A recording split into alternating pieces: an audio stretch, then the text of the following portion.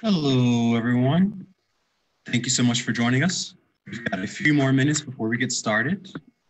Uh, feel free to go ahead and introduce yourself um, in the comment and chat section if you like. We do ask that everyone um, keeps their audio on mute. Um, you are more than welcome to utilize your video if you like, um, but do keep your audio on mute. And again, we'll get started in just a few minutes.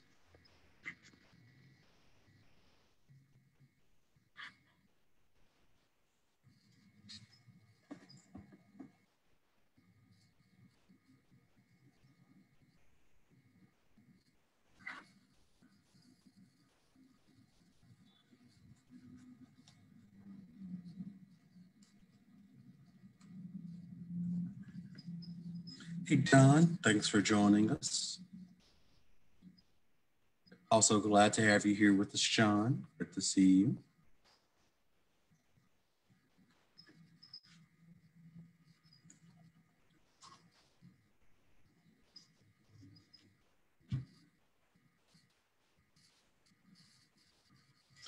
Um, as we wait for others, I have uh, posted some links um, in the chat section. Unfortunately, it looks like some of them got jumbled up a little bit together, but the first um, link is for our May 28th Spring Supplier Diversity Roundtable. The second link is to access more information on the LGBT Business Enterprise Certification. The third link, which is lgbtcc.com slash COVID-19, it's just a link to our COVID-19 resource page. And then a final link is a resource from the Small Business Association um, talking about various funding um, resources that are now available. Again, we'll get started in just a couple more minutes. Um, feel free to introduce yourself in the um, chat section um, until we get started. Thank you so much for joining us, Jennifer.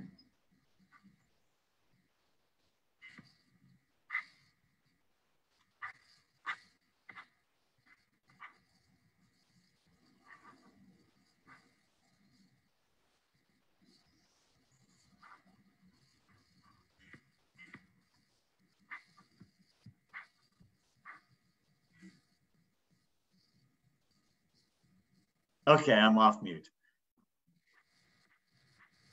Morning, Jeremy. How are you? Good. How are you? Great. All's well, as can be expected, I guess, these days, right? Yes. yes. Thanks so much for joining us. You bet. Uh, just a few more minutes. Thanks for joining us, Patrick. Great to see you.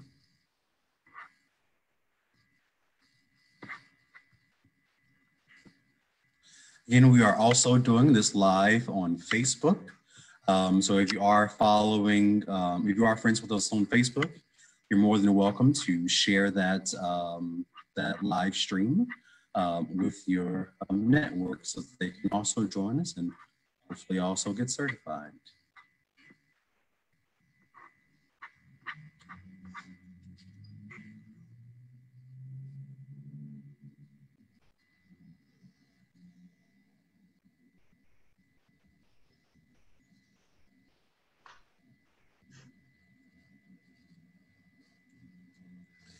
Thanks to those folks who've joined us on Facebook.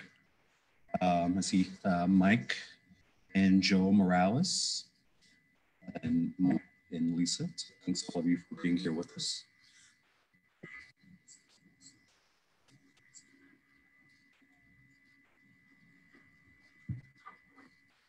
So let's see.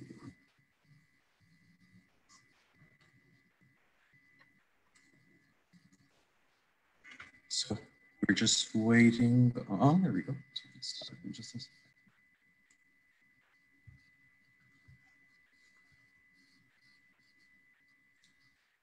a Done. Fine jury, Again, thanks for having me.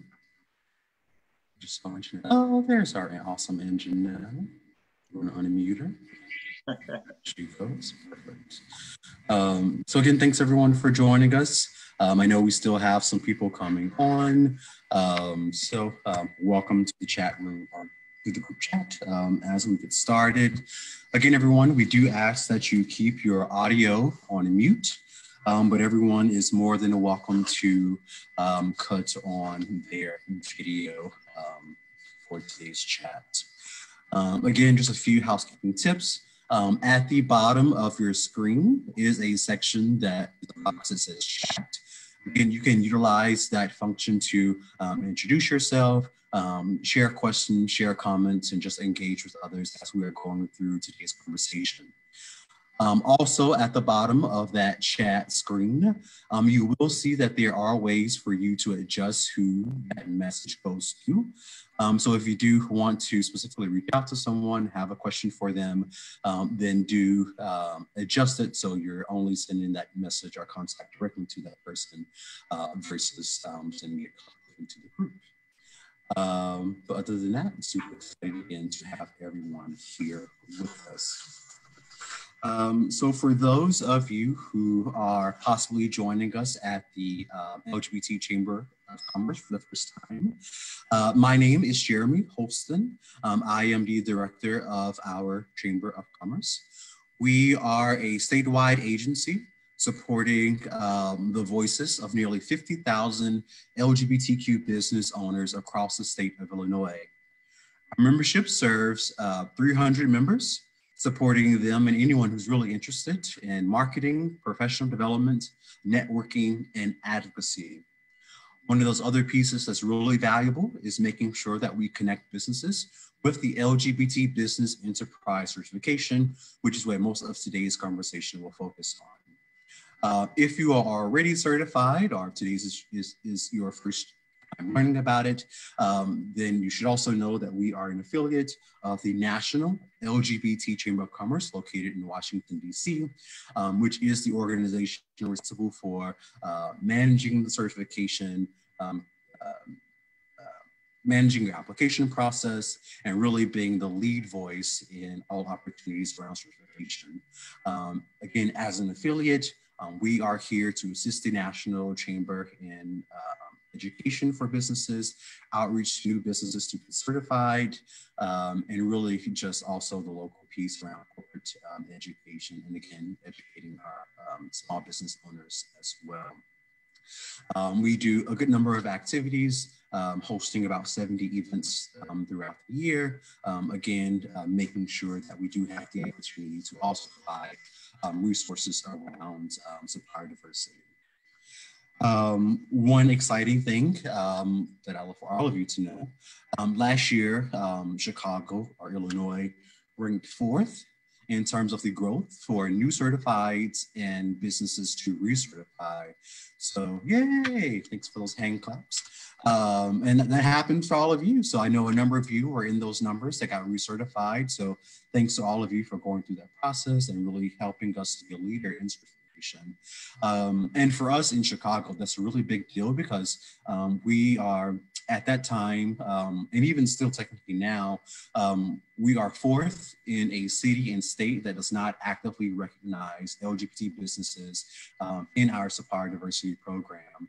So imagine um, as we continue to make progress as the city of Chicago um, begins to work with LGBT businesses and the state of Illinois, um, we will hopefully um, always to the top. So, um, with that great success, um, we know how valuable it is to make sure that all those people who are newly certified or thinking about getting certified have access to um, tips and practices to leverage that certification.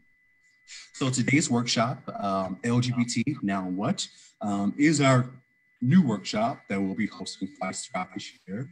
Um, to really, again, make sure that everyone has the um, information to be successful um, in that journey. Um, so I'm super excited to have um, two guests with us here today. Uh, our first is Angenetta Frison from Barilla, and the other is Ryan. So a huge um, welcome and claps for um, Anjanetta and Ryan. So thank you guys for joining us. Hopefully you guys are unmuted. It looks that way. Um, so um, obviously, so I do have some awesome bios for both of you. Uh, but what I think would be great, I'll let you um, share your bio. I'll let you introduce yourself. And then anything that I think is really awesome that you didn't mention, I'll be sure to fill it in. Um, so Ryan, as you are today's LGBTBE um, on the block. Um, we're going to give you the opportunity to introduce yourself first um, and really just tell us anything else that you'd like us to know. Great, thanks. Um, thanks all of you for taking your lunch hour with us. Uh, Angenetta, we all should have been eating Barilla pasta today uh, for lunch. So we'll have to do that next time. But um, so I'm Ryan Ruskin. I'm originally from Pittsburgh. I moved to Chicago in the early 90s to go to graduate school at Northwestern, fell in love with the city and have been here ever since. Um, my company's the Ruskin Group. We're a global sustainable packaging company.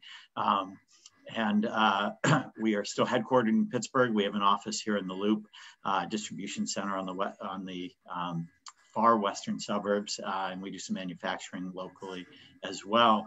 Um, and uh, in our focus of sustainability um, on all of our packaging that we do, uh, we've been rolling out biodegradable products in, in our plastics programs that actually um, biodegrade and go away. Uh, they don't create microplastics or any um, residual products. So we're still really busy in that space these days at our company. Um, we're piloting straws right now with some of uh, the national uh, restaurant chains that we're hoping is going to take off pretty quickly uh, and looking at some other things in that space. Um, and we'll talk a little bit today, possibly about uh, the PPE stuff that we're be, that we've switched to a little bit uh, in response to the COVID-19 uh, crisis that we're experiencing. So um, I live here in the city. I'm at Montrose and uh, the lake, basically, and uh, live with my partner of 22 and a half years and our two dogs who may pop into the screen every once in a while because they're still adjusting to having us at home too. Uh, we've been certified for about two and a half years and we've been a member of the, of the National Chamber for, oh boy, since probably their second or third year in existence. Um, so we've been uh, as part of this experience uh, in supplier diversity for quite a long period of time and it only gets better every day. Thanks. Thank you so much, Ryan. Um, one, uh, one small quick thing to notice that um, Ryan's uh, company, the Ruskin Group, is a 126 year old business. So um, definitely an established business in terms of delivering great quality, great services, and great products. And so um, really excited about that. Um, another thing that Ryan did not mention is that he is the non-executive chairman of My CEO, a sustainability education business he helped found help consumers break their habits of disposing of waste that harms the environment. Um, as Ryan uh, mentioned, they've also launched uh, biodegradable plastic products, including straws, bags, bottles, and other containers, um, which is very timely. I was, I, I, like many of you, I just get on YouTube and watch lots of videos. And the one I was just watching yesterday was about the cruise ships and how they dispose of waste and just what that whole journey looks like. So hopefully that'll be another uh, big customer industry for you to tap into uh, down the road as well. So if you can join us today, Ryan. Thanks. Um, our other uh, guest today um, is Angenetta Frison. Uh, for those of you who are longtime members, or at least since last year, um, you will hopefully know that last year Anjanetta was awarded our Supplier Diversity Advocate of the Year award. So, um, Angenetta and Barilla have really been great in um, connecting our members to resources, um, championing um, their own opportunities to our members, and really also sharing expertise um, to our certified businesses. And so we're very appreciative and thankful for Angenetta and Barilla for all the work they do um, to help LGBT businesses and all other communities access this information. So uh, thank you so much for being here with us today. And please share uh, share introduction of yourself, whatever you want us to know. Okay. Um, Angenetta Frison. Uh, I live in the far north suburbs. Um, I have been with Barilla. I just made two years actually. Yay! Yay. Congratulations. Um, so I started Barilla, like I said, two years ago. And um, it has been a uh, great experience. Um, Barilla established their program, like formally established their program by hiring me. Um, the leadership uh, felt that uh, diversity within our supply chain was important and that in order to show their importance and also to grow the program and get the awareness out there, they needed to dedicate a full-time person to do this. And so I was brought aboard to say, hey, we're serious about this. You know, what can we do to kind of uh, move ourselves forwards in the space with supplier diversity? So we have been a partner um, with the chamber. I think this is going on year three because there was already a relationship prior to me uh, coming. So um, I want to thank the chamber and Jeremy for all of the help and support because as you know, trying to stand up a new program um, is uh, is difficult. So you need uh, cr critical and crucial partnerships that can kind of help you uh, introduce you to and expose you and help you to facilitate and advocate for the suppliers that you're trying to do business with. So the relationship has been very positive. I've learned a lot. I've made a lot of connections to established um, companies that have um, stellar supplier diversity programs to companies that are actually were just starting off their program. So it was a good spot to be. I came in at a great time. I've met actually a, a ton of you at a, a couple of events. So I'm here to support and advocate and kind of move things along. So thank you for this opportunity. Thank you so much. Um, some cool things that Angenetta didn't mention. Uh, in 2019, um, Angenetta was awarded the Excellence in Diversity and Inclusion Award from Gordon Food Service Canada. Um, she was also awarded the Supplier Diversity All Stars Award from the Minority Business News as the Rising Star recognition. Um, and then um, I, I, think this was last year, um, Angenetta received uh, an honorable mention at the Best of the Best Diversity and Inclusion uh, event by NGLCC. Um, so um, only two years at um, Barilla, well, two, three years at Barilla, but uh, making remarkable um, impact here um, in this diversity space. And so um, we're glad to have you and look forward to all the many good things that you're going to keep accomplish. Um, so um, some folks don't realize that we had the opportunity to hear from both of you back in September um, to let us know that you, you know, working on a relationship um, and really at that point, just trying to figure out what opportunities were. And so uh, we'll love to um, hear from, from both of you, um, sort of just an update on what the relationships look, looks like now and just what you guys are working on. And Janelle, you want to go first? Okay, sure. Um, I met Ryan um, probably at the my second event, um, being a, a, representative from Barilla, um, partner with Chamber. I met him at a, the second event. He introduced himself. Um, he told me what he did. I told him what I did. We kind of had some small talk. And of course, we exchanged cards and I'm like, go register. He's like, okay, I'm going to go register. Great seeing you. We met again at another event. And I'm like, oh my God, Ryan, did you register? We talked about registration and then we started to kind of talk about other stuff family, news, uh, just kind of just dialoguing, right? Two people that's kind of reconnecting, reconnecting, reconnecting. So eventually, um, that kind of led us to um, me scheduling a um, supplier introduction.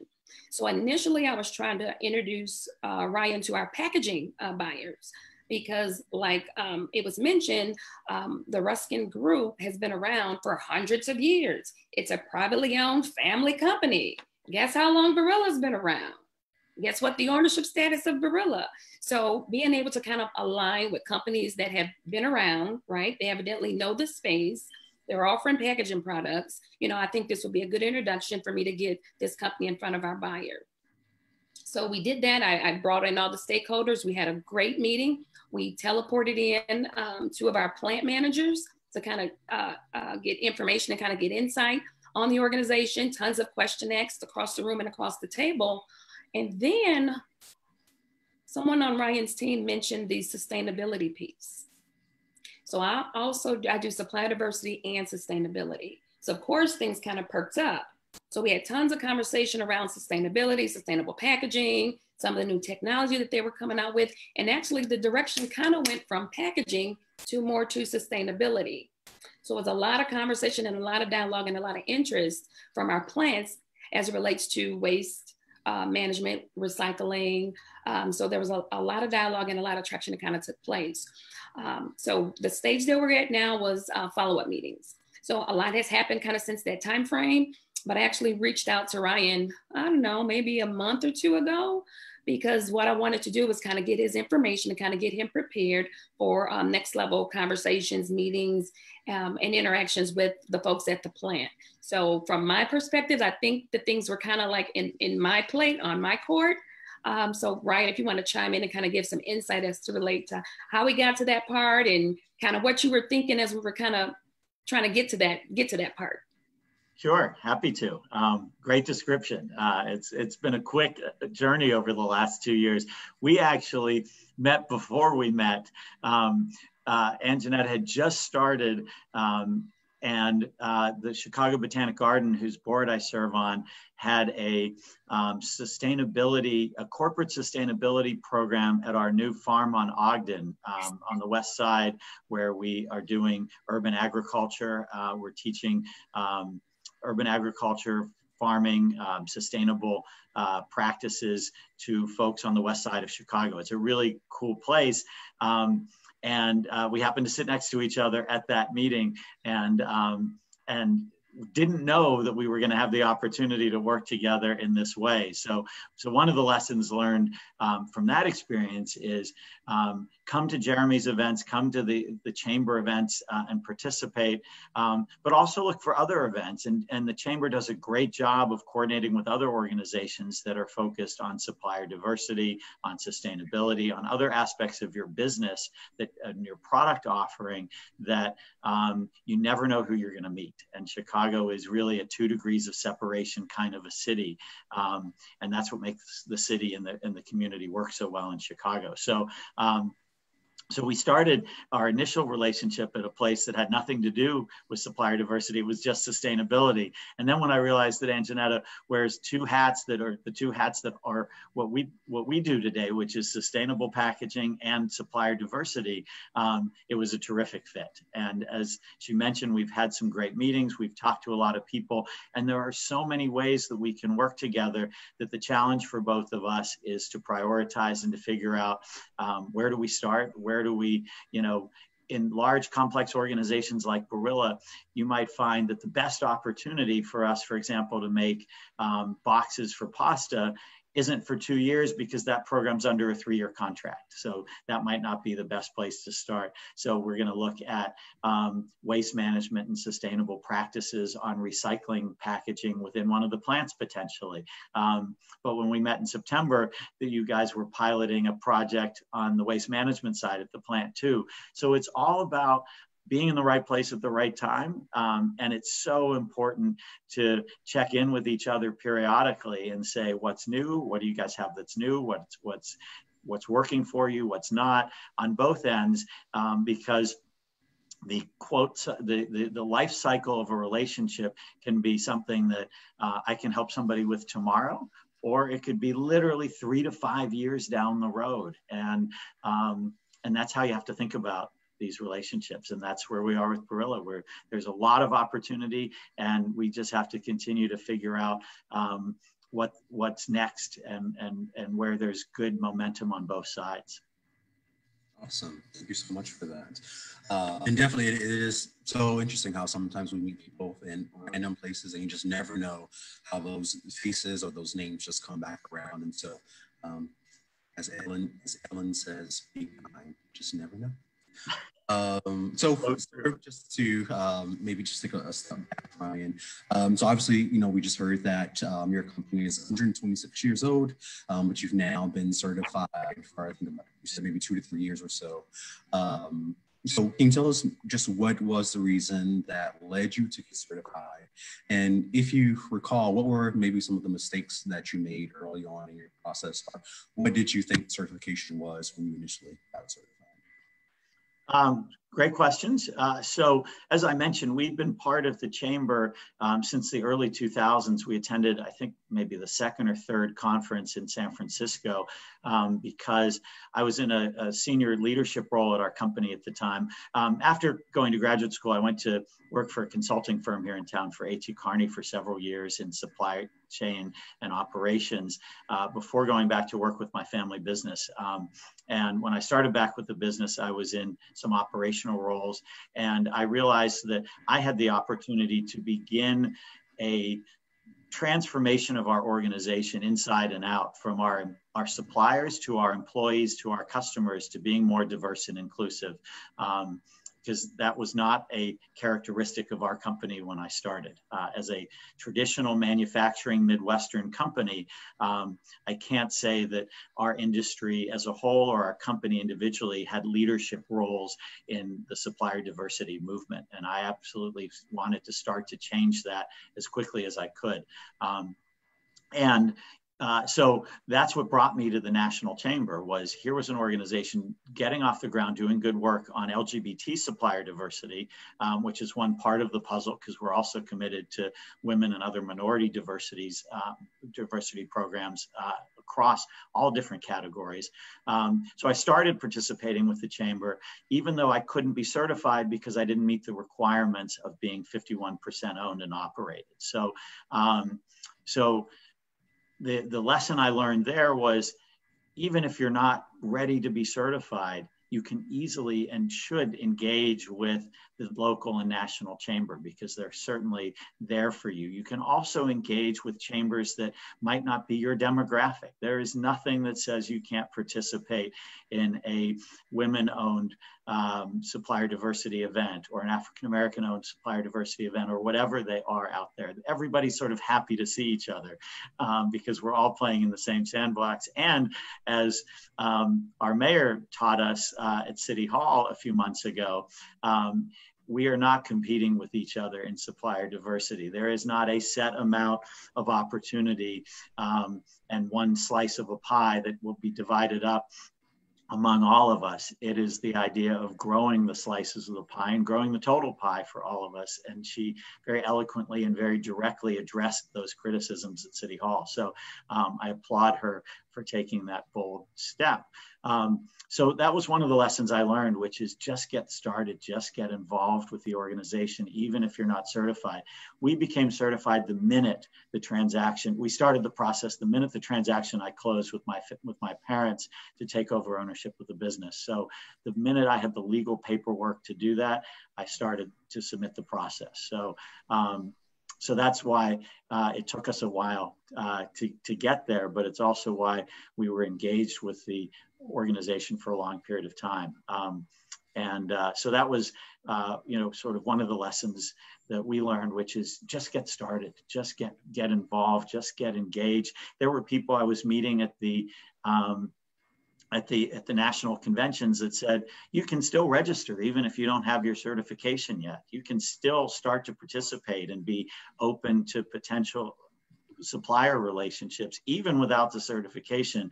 But what i've also found is that that certification is a game changer. That is a, is it adds legitimacy. It adds in some of the the web portals and and the ways you need to sign up for these uh, different uh, supplier initiatives you can't go further if you don't have a certification that you can check. So, um, so I guess I'm saying two things. One is it was really helpful for us to just get out there and meet people and start the dialogue, but it was also equally, if not more important, to get certified because that just took our opportunities to another level. So those were definitely some of our uh, early uh, lessons that we learned through the process.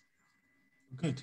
Uh, one thing I forgot to do um, is to I have a short poll um, that I'm going to send out here. So we'll take some feedback from everyone on today's um, call.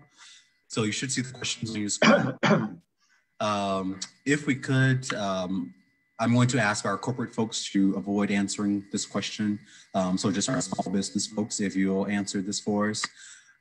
if you will let us know which certification you have, um, how many employees do you have? And that does include yourself.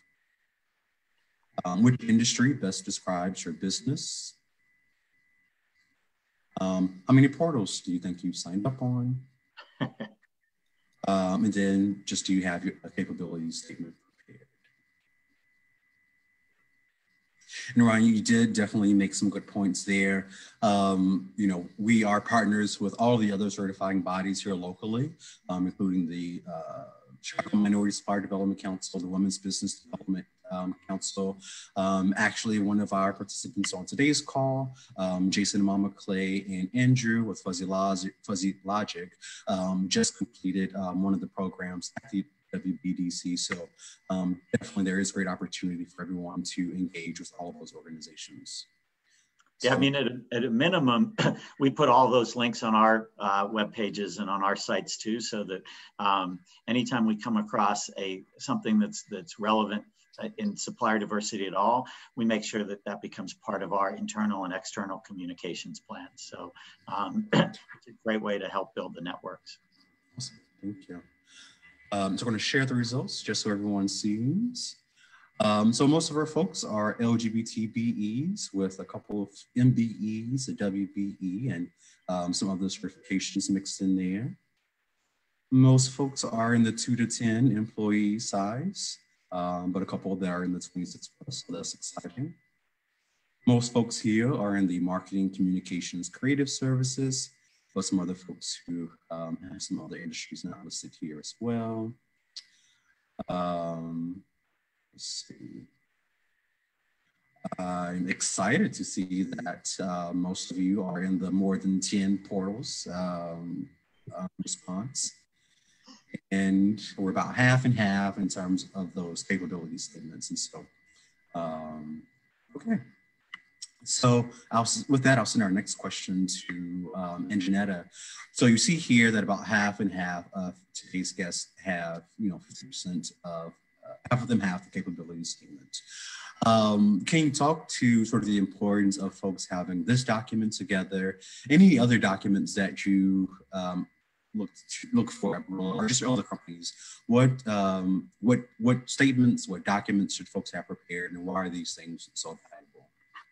Okay, so you you pretty much nailed it. The um, a very important document to have ready and prepared is the capabilities uh, statement. A lot of times when we when we, when we can eventually go back outside, right, and we you know go to trade shows and things.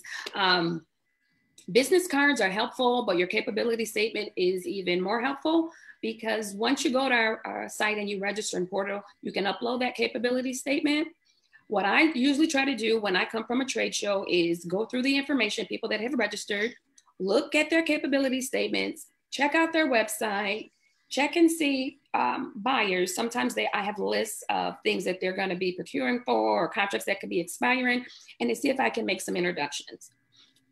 The buyers are very busy, right? So for me to get time with them, I need something of substance to say, hey, I've got the supplier that I think you know, maybe, you know, would you mind taking a look at? Do you mind giving some feedback on it? Do you want a, a supplier introduction?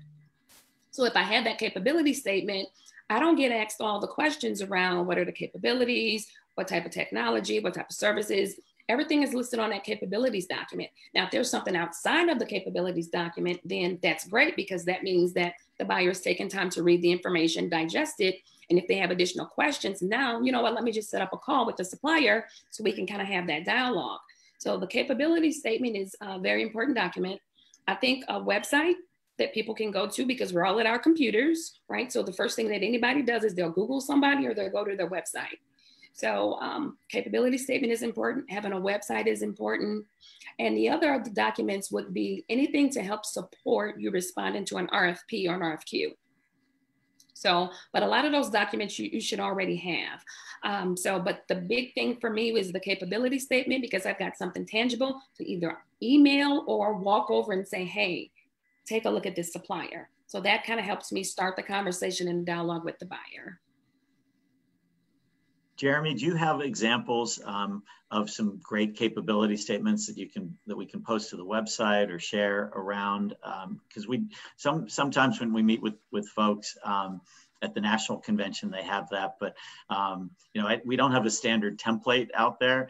Um, but it would be really helpful if we had a couple templates, you know, as guidelines for everybody um, because sometimes it's very daunting to sit with a blank sheet of paper and say, what am I going to say? And um, and the buyers will do a good job of telling you the information they need, and that's why I encourage everyone go to the national conventions because there will be workshops on these types of topics where um, you know they'll have people from big companies that will say this is all the information I need, and we take notes, and then we make sure we put that into our document. Um, but what's great is that you know Angenetta can tell you exactly the type of information that her buyers and that she, her organization needs, and she's the consumer of it.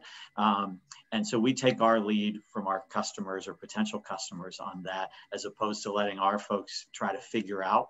And we do the same with our website because a lot of times when you design a website, you want to tell your story and you want to tell everybody what you think they need to know about you.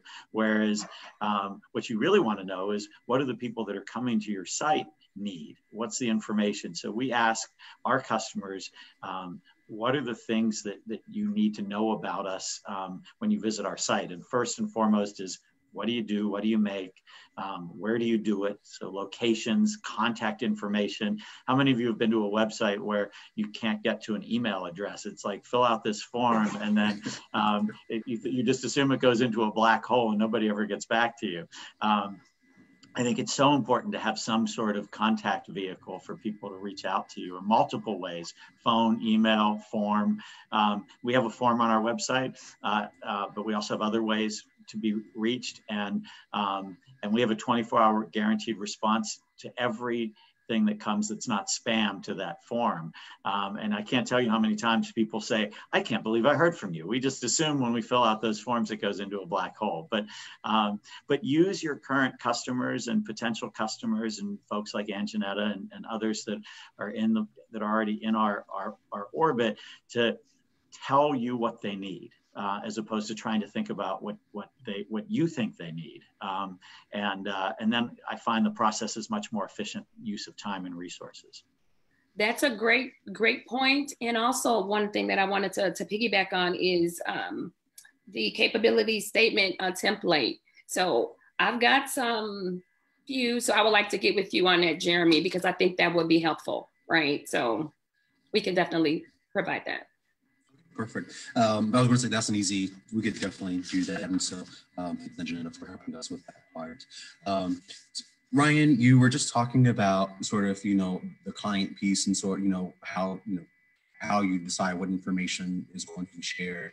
Um, can you tell us a little bit about sort of your um, sort of research prospecting process? Um, how do you determine if um, a company is the right one for you to be um, going after? Um, so obviously, you know, there are many companies that might need, you know, biodegradable sort of items but how do you what do you look at to really know this is the that needs me I'm going to be a good candidate for them. What does that process look like for you? So for us, it's a, it's a little frustrating sometimes because we do offer so many different things. We have a custom packaging um, capability where we can design and build packaging to anybody's specifications that has their brand on it, their logos, their information. We can do it in plastics, in paper, and all sorts of different substrates. So within that side of our business, there's a ton of different opportunities to work with companies uh, that are part of the, the supplier diversity network. On the other side of our business, our stock packaging and shipping supplies business. Um, anyone can go to our e-commerce website and order they can order five moving boxes or a truckload of moving boxes, or they can order stretch wrap and shrink film and 25,000 other SKUs. And so, um, but that part of our business is sort of very hands off. I don't need to have our staff involved in that part. So, unlike some companies that just make one thing and do it really well or offer one particular service, we offer a lot. So, prioritization is a challenge for us because we don't have unlimited resources. So, for us, we often look at, um, we start with the most basic tool uh, you can possibly have for business or for life in general, which is the, the old two by two matrix of on one axis you, process, you, you plot, um, you know, potential size and impact. You know, is it a is it always going to be a little small company on the left, or is it or could it grow to be a large, uh, you know, long-term relationship on the right? And then the second access, the, the vertical access is ease of implementation. How easy is it to make that happen? Um, and you want to focus, uh, for us, we focus our efforts on the, the first box, um, which is the easiest to implement with the biggest impact. That's where we sort of try to focus most of our initiatives, knowing that the hardest to the, the hardest to implement with the smallest potential returns is the thing that we probably never get to. Um, and we try to have a lot of discipline around that. And it's tough sometimes because sometimes you don't know exactly where to plot somebody on those two axes.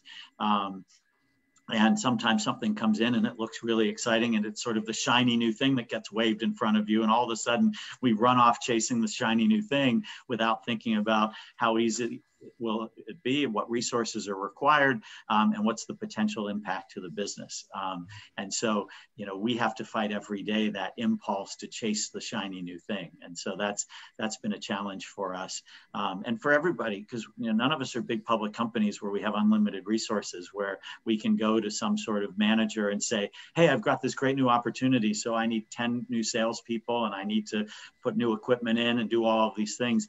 That's not traditionally how most of our uh, companies run, we have to make trade-offs every day as to where do we spend our time, and um, and so that's that's a an ongoing challenge that we have every day. And there are many other ways that we slice our, our potential customer um, opportunities and data, but we find that um, you know, because there's ways to look at complexity, at financial impact, at use of resources. There's all other ways, but but the most basic is how easy is it is is it to work with them and turn them into a customer um, versus what's the impact going to be on our bottom line organization. Thank you so much, Ryan. Um, so I'd love to start taking questions from you all. And so I have a, I have obviously more questions I could ask. So I have a question now, and then um, I see that Jason sent me a question, so I'll ask that question next. Uh, but Angenetta, um, so um, you know, you know, we heard Ryan talk a little bit earlier about um, how they've made a shift in um, starting to provide um, PPP, uh, PPE items.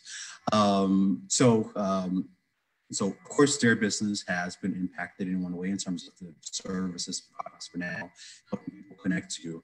Um, can you tell us about um, how um, the current situation is impacting Barilla, um, how this is impacting your supply chain, and particularly at this time um, when certified companies are coming to you to to try to be a partner um, how can we how can businesses most be helpful at this moment? What um, what should they be coming to you with solutions to? Um, what what are what are the opportunities at this point? okay that was like one two three that like five questions. Was a lot of questions all in one. Pick, pick one of the questions and you can answer. Okay so uh, first of all so um, our company has experienced what every other company um, has experienced across the the company. Um, the good thing is that we were just able we just we're able to kind of execute uh, contingency plans that we've already had in place. Um, so that was a good thing as it re- relates to remote work and uh, video conferences and sharing um, remotely. We've already kind of had those uh, practices kind of uh, in place. Um, so it was just a matter of flipping a switch to have it executed uh, company wide so that we can continue with business continuity um, as, as usual. So the same things that every other organization is finding um, impacting them as it relates to um, not being able to meet, um, not being able to gather, um, PPE, of course. So the big thing that we were concerned about as an organization is um, employee safety. Safety. So making sure that all of our families are okay. Is everybody okay? And then once we figure out that families are okay, then how are we going to operate? So there were plans and procedures in place, whether it be a tornado or a earthquake happens, to kind of figure out business continuity. So we're impacted just like all the other uh, companies across uh, the US are impacted. Um, ways that um, you're right. So the company has kind of shifted and kind of looked at, okay, um, things operational critical, right? So right now, suppliers that are reaching out to me about telling me um, promotional items, uh, trade show stuff, things that right now we kind of shifted to operational critical. So um, things that are critical for businesses, for us, we're a food company, would be raw ingredients. So that's kind of where our focus is on shifting and trying to reach out and touch suppliers that are um, can help kind of support our supply chain in that way. So with any organization, when you're contacting them about your products or services, you know, try to think about well, what would this business um, try to understand what things are impacting them now right? So you trying to reach out at a time when, you know, to sell things that might not be business critical might not be a, a good time to kind of reach out other than kind of registering with the portal. But if you have a solution, um, some services or some products that you feel could help us kind of move to the next level or kind of elevate things that we're doing, then of course, those are the type of suppliers that we want to kind of see and kind of um, give some time to. Um, but also during this time, because people have time, right? We're all at home, we're multitasking, we're doing all those things that we didn't have time to do because we were chasing carrots, or as Ryan would say. So a lot of suppliers are reaching out um, with PPE, with things that we wouldn't have never thought of. And as the information is coming in to me, I'm filtering it and I'm trying to relay the information that I think would make sense given the, the timing and kind of where our uh, crucial uh, needs and operational uh, uh, uh focus is right now. We're laying that information to the buyers for those commodities or services. Um, so we're doing everything we can do to remain compliant with all local and federal, you know, guidelines. And, you know, so, so far we're taking it one day at a time and we are continuing to do what we do. As you can see, I'm on this webinar uh, because diversity and inclusion um, is still important. The work will not stop. So I don't know if I've answered all your questions, but. Yeah, that was good. That was perfect. Thank you so much. Um, so we've got two questions that have been submitted, and so um, I will unmute you, Jason, so you can ask your question. Or you can unmute. Okay. Great. All right, awesome. Hey there, everyone. Hi there, Angenetta, Ryan. Thank you for spending the time and good to see you again. Um, hopefully you guys remember us as the name tag folks, even though that's not our primary line of business. Um, uh, uh, once again, my name is Jason Mamaclay. Pronouns are he, him, his, and uh, I'm one of the two owners of Fuzzy Logic Escape Room. Uh, you really hit the nail on the head on kind of the heart of my question, um, but I'll still take a stab at asking about it anyway. Uh, so uh, for yourself, as well as anyone else who may be responsible for supplier diversity, given the current economic and climate, I imagine that there has been kind of a net negative impact in amount of available spend, or at least a focusing on what that spend looks like. Um, how has that impact affected the focus on supplier diversity and how much pie is available and what slice of the pie that we're seeing diverse suppliers being able to grab um, because it's possible that maybe there's more of a percentage that's spent on supplier diversity because there are certain set number of dollars that are going to certain companies that provide these types of essential services. So where have you seen the impact of COVID affecting supplier diversity conversations because the manner in which money is being spent or where it's being focused is rapidly changing? Great question. Um, with our organization, we don't have any set aside money for any particular groups.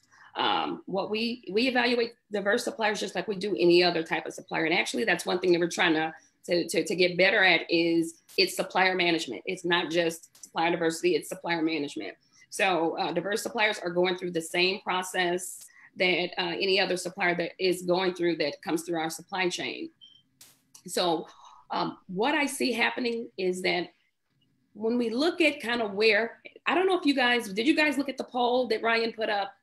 Just from our, the call, a lot of our um, diverse suppliers are in marketing, a lot of our diverse, so depending on, thank you for the categorization, category, uh, categorization of where our diverse suppliers fall kind of dictates the areas that um, coincide to where the need of our operation is, right? So if we need suppliers, we we we buy wheat, right? So that's a big commodity for us. If I don't have any diverse suppliers that can participate in procuring wheat, then you know there's no dollars that's going to be allocated to that um, supplier.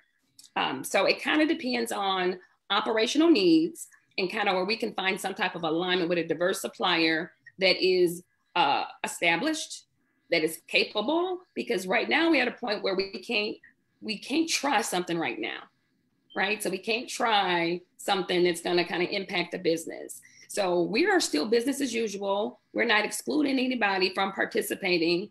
Um, anytime that i get information about what we're going to buy where we're going to buy it i'm searching database i'm doing really nothing has changed about my role.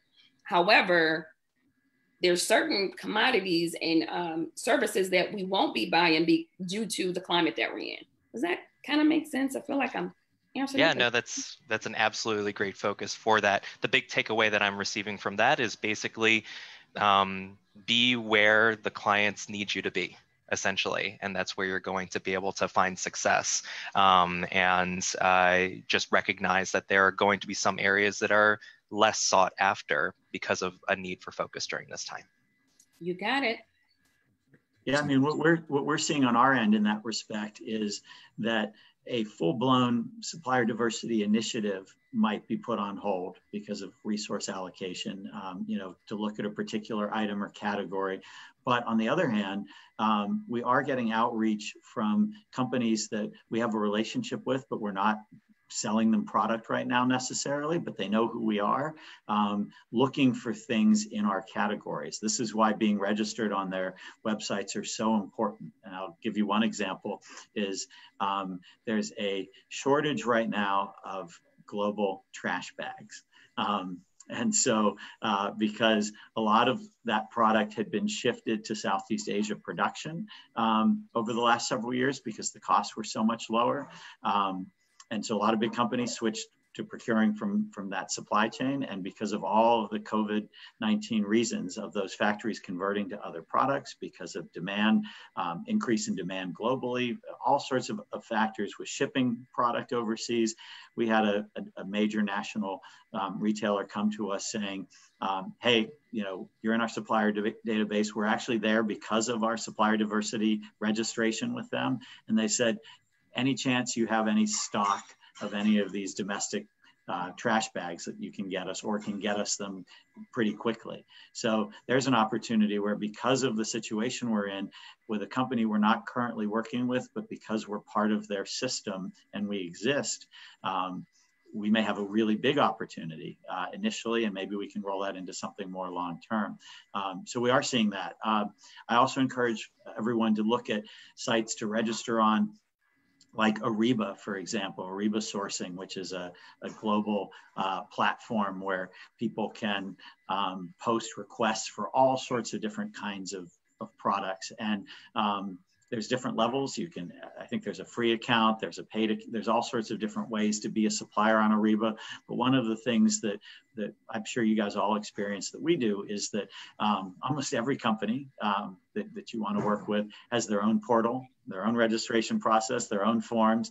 Um, and so it can be unbelievably overwhelming to fill out all this information multiple times slightly differently. So the best way to handle that on your end from our perspective is keep a file of all of those documents that you can then just adjust and tweak. But better yet, if you register on sites like Ariba, where you put all that information in once, and that and then anybody that wants to work with you has a base set of information, then you don't, in theory, have to do it a hundred times over. So, um, so there's a couple other sites like Ariba. I'll think of those and, and get those out to you through um, Jeremy. But um, but that's one that comes to mind that we get requests every day from. And sometimes we look at it and we say, um, you know. 75% of those requests aren't a good fit um, for one reason or another, but every once in a while there's something that is a great fit, and um, and so it's it's it's a good you know sort of prospecting tool. Okay. Phenomenal guidance, phenomenal story. Thank you. Awesome. So we do have another question. Uh, so Jennifer, uh, you, oh, there you go. Um, so I'm going to unmute you. Uh, okay, you want to share? I have uh, two two questions. One is, um, I'm a small company just starting, just recently was certified. I'm also certified veteran on business, and I am filling out the the the um, you know the applications through the different portals. Um, the capability statement comes. Sorry, the, cap- the capability statements comes up in um, several of them, and I'm just because I'm small. I, I look at some examples and I get really intimidated about what can I put on mine and how is this going to be viewed? Like, am I just going to be slamming the door in my own face if I have this weak looking capability statement because I'm a growing company. And so that's the first, com- how, how should I approach that capability statement? And the second question is I'm actually, um, Barilla is one of my customers now. And I'm lucky enough to have that relationship with Barilla, but they don't necessarily know that I'm certified now. So I want to kind of go through the back door and say, hey, by the way, I now I'm certified because um, um, just to let them know. And my contacts might necessarily not be the right ones for letting them know because I do re- electronic recycling.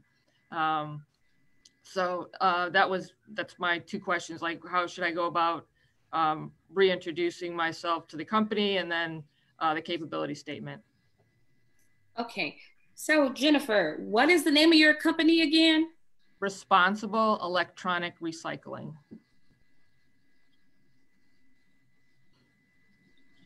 Okay. So the uh, reintroduction, um, I can definitely take care of on my end. And I actually, there should be some Barilla folks online. Um, we have a new, well, she, I can't even call her new anymore. Uh, Deanna Henry, she's our uh, new indirect uh, purchasing manager. We also have a new director. I think he's online, Giuseppe Mora. So I can definitely uh, facilitate the um, reintroduction. So thank you for being a supplier to Barilla. Congratulations on your certification. So I definitely want to talk more kind of about what you've been doing. And um, um, so that part, okay, we can take care of that part. As it relates to the capability statement, I think that um, it is what it is at this point in your uh, business uh, life cycle. You're just starting up. So I think that we can definitely put together some creative ways to kind of put your capability statement that it makes sense to talk about your strengths, your weaknesses, the value you add. And a lot of times, what we also want to know, what we're interested in, is what else, right? Other than selling me widgets, what else? You know, um, as it relates to what else do you care about? What else can you align with other companies around? So, as uh, Ryan kind of pointed out, not only do they do packaging, they do responsible, sustainable, things of that sort. So, there's other things that you can fill your capability statement with that can be attractive and um, tell your story. Okay. Thank you. I agree. And I, I would just add, Jennifer, that um, you know, always try to, we try to find ways to make, you know, potential competitive weaknesses strengths. Um, and in our industry, we're considered a small company because we compete with multi-hundred million dollar and billion dollar companies every day that are much bigger.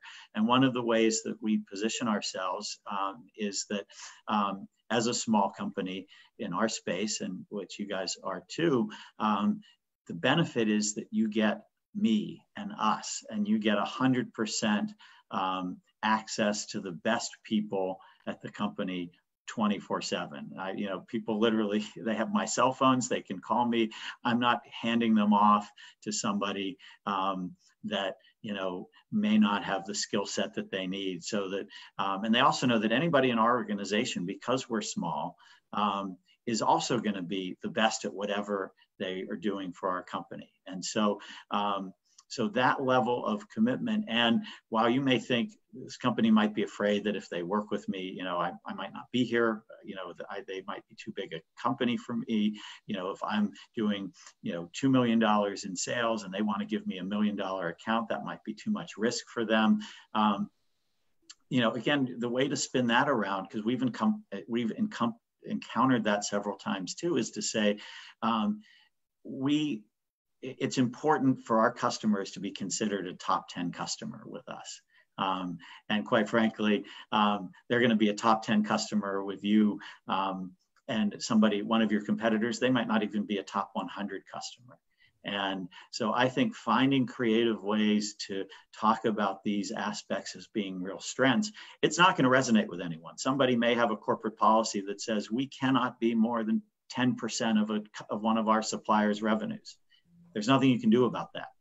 But for people that don't have that policy, um, we find that by selling us as individuals and us as, as our capabilities and expertise and having guaranteed access to that is, is how we position ourselves in the market.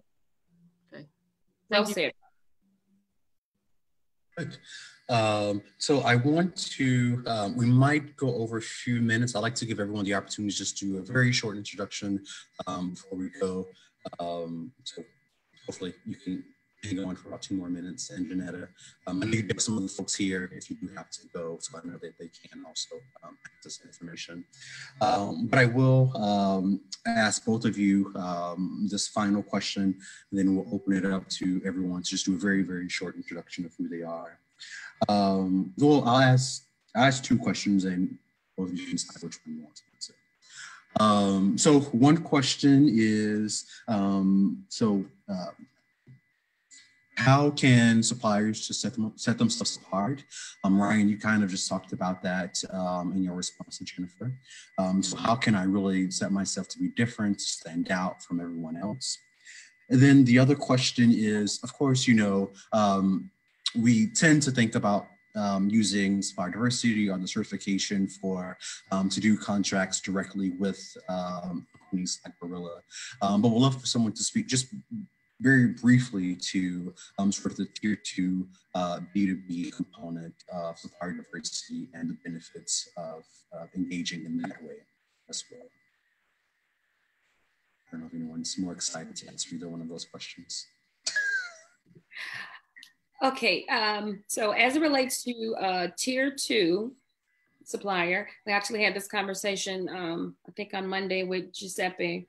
Um, we don't have a, uh, we haven't formalized a, a, tier two program yet, um, as you all have heard. So we're actually going into our third year of the program. So we're actually trying to just get the foundation set, get all the policies, procedures, processes, put our tier one down, get our reporting down, and then let's kind of elevate to uh, tier two.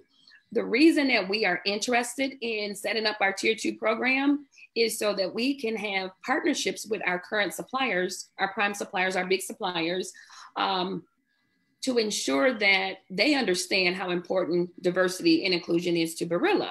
So we're going to be reaching out to our top uh, suppliers and saying, hey, do you have a supplier diversity program?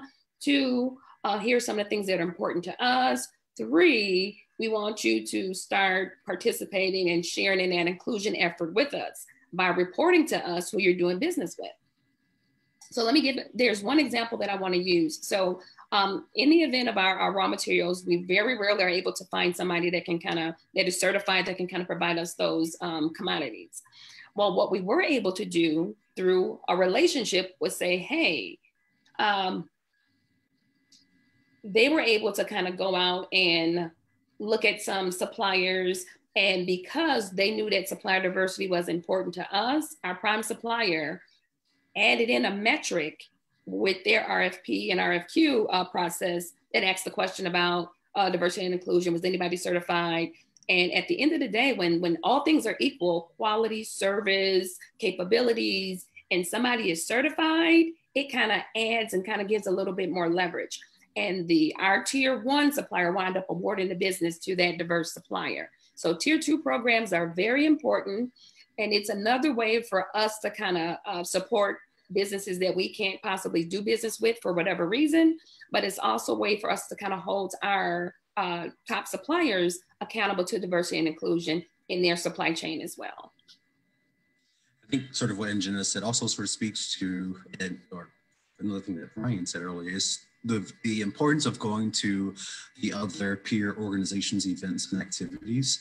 Um, definitely, for sure, um, there are you know people who are certified as you know WBE, uh, MBE, who are needing additional people to work with and partner with them on contracts to be able to win those opportunities. And so, definitely where you can partner with folks who have other um, certification um, backgrounds, um, even if it is still just LGBT, but definitely where you can partner with other diverse backgrounds. Um, you're really helping um, Barilla um, really be able to um, communicate more clearly its impact on supplier diversity. So definitely um, really pay attention to building relationships with other diverse suppliers from other backgrounds and certifications. Uh, Ryan, I'm, I'm, assuming you're going to answer that um, set us apart question for us. On on the the question of, of tier one and tier two, um, we've rarely had opportunities where tier one suppliers have come to us and asked us to be a tier two. What's happened more with us is um, we may be going uh, to a potential customer where um, where we have a vendor of ours um, who's going to be supplying the ultimate product, um, who is a tier one, uh, and then we would act as tier two, or vice versa, where because of supplier diversity, we have the opportunity to create and manage and own that relationship and bring a much larger company than us. Uh, certainly, like in the plastic space, we work with a company called Polyair, for example, and they're a global multi billion dollar company, but we end up being the tier one. Um, for them uh, as opposed to us being a tier two supplier to them. So, um, so we've had that experience occasionally. Um, on the question of of differentiation and positioning, um, you know, I think what what comes what comes up a lot and what, what this a lot comes down to on our end is is a question of values is that we by being a diverse supplier by by living that as a company value with our employees and our suppliers, um, that creates alignment with our potential customers uh, that our competitors that are not diverse suppliers um, don't sort of automatically get. And so we find that uh, it's it's healthy to have conversations about that, about what are our company values and, and sharing those values because um, it's core to what we do and who we are. It's, it's sort of the why as, as to why we exist in many cases. And, um, and it's not, it, what's great is it's not political. It may end up ultimately being translated that way. Um, I always have to, when there's an opportunity, um, you know, mention my biggest competitor in the packaging supplies business, which is Uline, because just the, yesterday, Liz Uihlein was quoted by saying she's launching a recall event to recall the um, governor of Wisconsin for his stay in place orders um, because she doesn't believe in them. And Uline is a $7 billion packaging company. So um, she clearly uh, is unapologetic about her very political values. Um, which we don't do because our view is we want to be a place for everybody to work, to supply products to us, and to buy products from us, regardless of your political philosophy, as long as you share our corporate values, which are things that include supplier diversity, diversity, inclusion, equity, accessibility, all of these kinds of things that um, are core to who we are. And so that's really when you talk, Jeremy, about differentiators, that I think is a major differentiator for all of us versus our, our competitors out there. So much. Um, huge thank you, Ryan and Angenetta, for joining us. Um, if you could, both of you, you may have done this already, but if you would put your email address um, in the chat sections in case anyone wants to reach out to you guys for more um, questions or details. Um, so thank you, thank you, thank you for that. Um, so what we're going to do very quickly is give everyone the opportunity to just do a quick introduction of themselves. Um, being that we are um, past time, I am going to be a stickler for a 30 second intro. And so um, if you do it, I am just going to put you on mute. Um, so please don't take it, um, don't take it hard. I'm just trying to give you your time back. Um, so we are going to um, start with our first person um, on the screen, which is um, our awesome Chris Singari. As soon as I find my timer.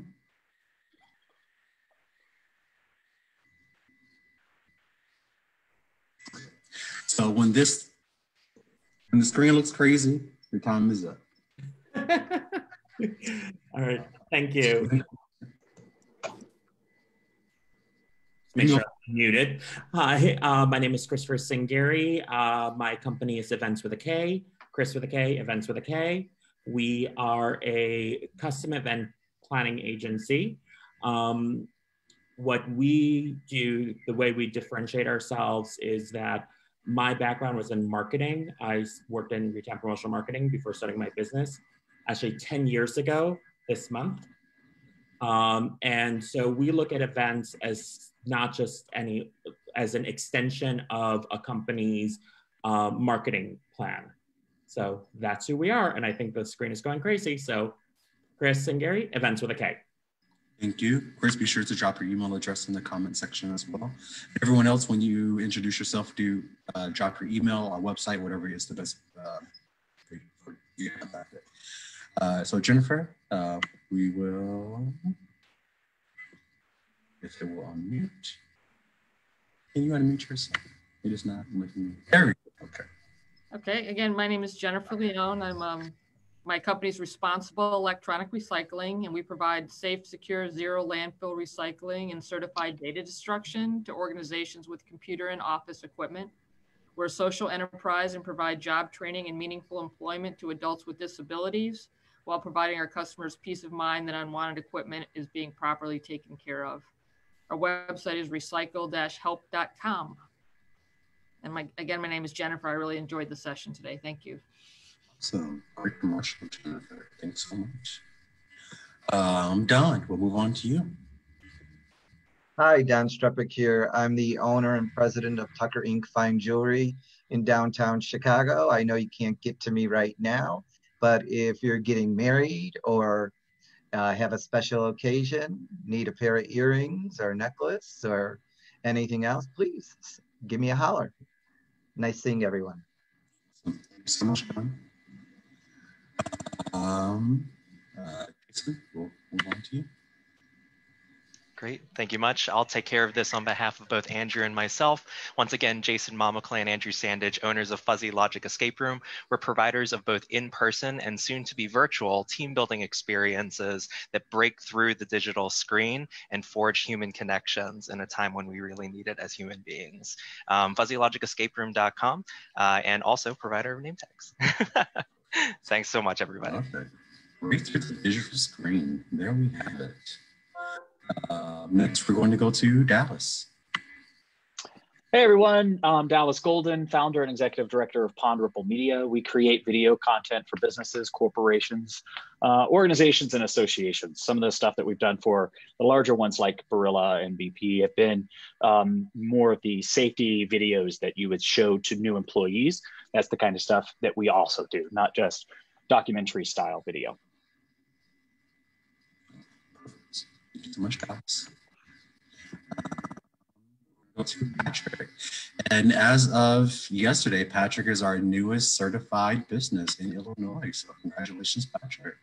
Thanks, Jeremy. I can leave that out of my, my pitch. Uh, I am Patrick Crossan, owner and executive producer for PC Events and Experiences. I focus mainly on business to business events. Um, and I have also recently become a digital event strategist, um, getting that certification as well. So uh, pivoting really to virtual experiences and how to help people. Um, Jason, it's also good to see you.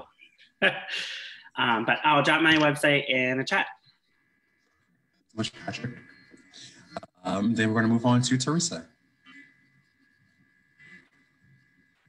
Hold on. We don't hold on. We don't have you. Hold on. Hold on. Sorry. There you go. There you go.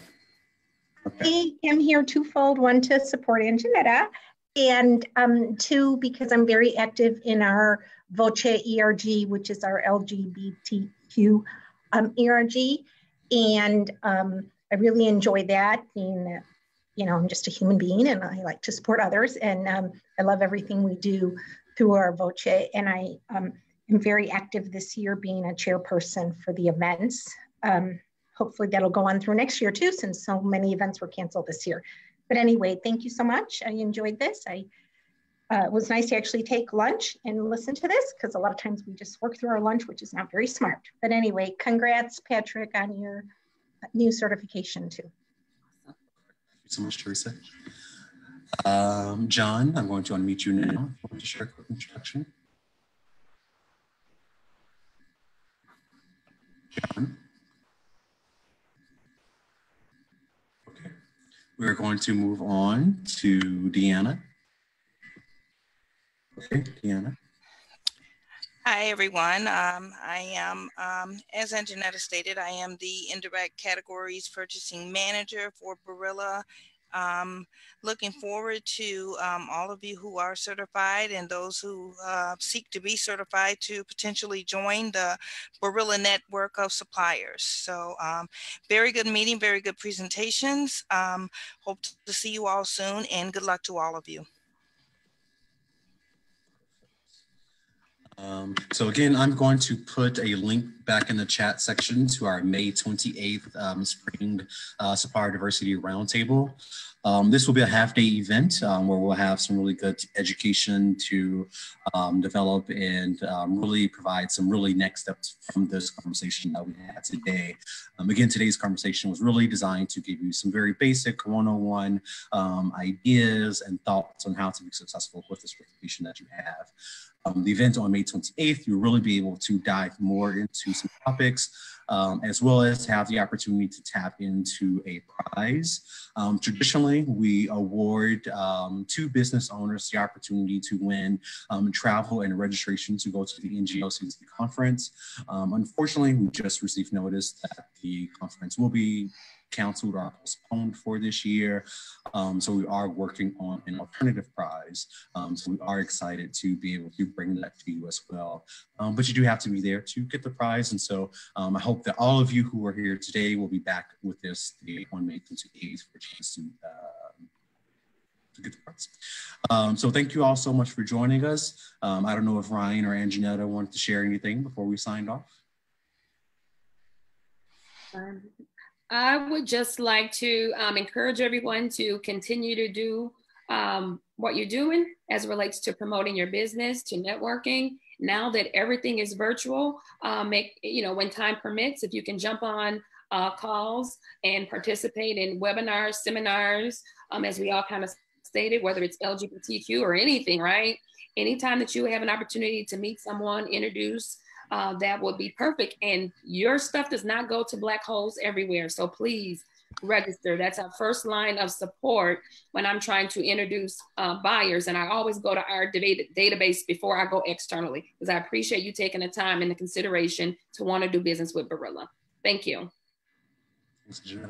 And can I say something just one moment, if you don't mind? Uh, the mayor is just announcing that there's a new grant up to $5,000 for small businesses that might be in moderate to low income areas. So please go to the mayor's website. If you're in one of those neighborhood areas, please do it for yourself and bless you.